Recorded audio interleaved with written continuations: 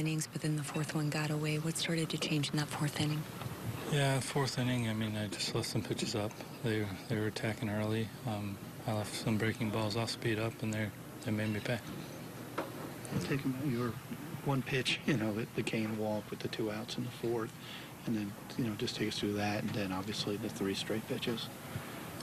Yeah, I mean, I was just trying to get ahead. Um, we threw a lot of pitches early, so after that first, second inning, I need I knew I needed to get in the zone, um, make adjustments, and uh, off speed just wasn't all there tonight. And um, yeah,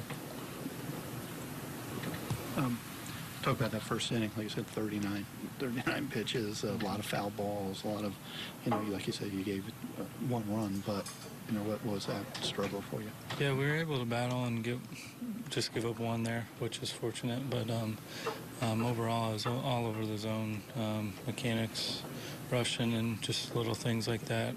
Um, was throwing the ball not where I wanted it, and um, obviously it showed. Threw a lot of balls early, and then um, was a, was able to get out of it, which is good. Um, but I needed to needed to do that earlier. Still very early in your career. Obviously, every outing is going to be a learning experience. Is there anything you can initially take away from this one? Yeah, just um, just to take, just honestly, just to be in the, just to prepare, and I feel like my preparation was fine. Um, just uh, mechanically, just something here or there, just um, wasn't there, and I mean that happens, and um, I can learn from it and just come back stronger.